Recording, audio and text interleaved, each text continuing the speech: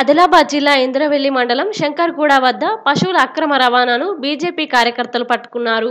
పశువుల అక్రమ రవాణాని నిషేధించడంతో గుర్తు తెలియని వ్యక్తులు డీసీఎంలో గోవులను తరలిస్తుండగా కొందరు బీజేపీ కార్యకర్తలు ఆ వాహనాన్ని అడ్డుకునగా డ్రైవర్ పారిపోయాడు. వాహనాన్ని పట్టుకున్న వారిలో బీజేపీ మండల అధ్యక్షుడు ఆరెల్లి రాజలింగం ఎంపీటీసీ పడ్వాల్ విజయ్ సింగ్ బీజేపీ మండల ఉపాధ్యక్షులు ముండే రాజేశ్వర్ రాథోడ్ భీమరావు బీజేవైఎం మండల అధ్యక్షుడు గిరి లహనే ఉన్నారు.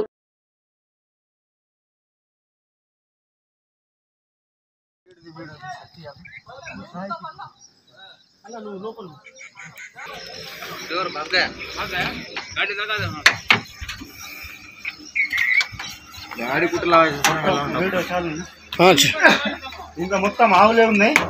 ఇక్కడ ఏమైకుంట దగ్గర ఇంద్రల్లి ఏమైకుంట దగ్గర ఆగిన ఆపినా కానీ వాళ్ళు ఆపకుండా తర్వాత అలాగే శంకర్ కూడా బారికేడ్లు పెట్టినా కానీ అక్కడ నుంచి మొత్తం ఆపకుండా వాడు తీసుకొచ్చిండు.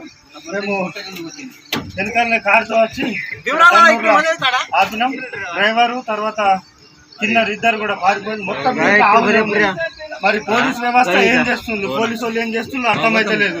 చాలా సార్లు ఇంద్రవెల్లిలో మేము నాలుగైదు సార్లు పట్టినాం. పట్టిన తర్వాత అదేదో తూమంత్రంగా కేసులు పెట్టడం వదిలిపెట్టడం.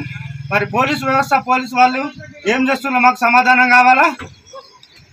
మొత్తం ఆవులే ఉన్నాయి. మొత్తం మొత్తం. మొత్తం ఆవులే ఉన్నాయి. ఇంకా రెండు బండ్లు ఉన్నాయట వెనకాల. సరే.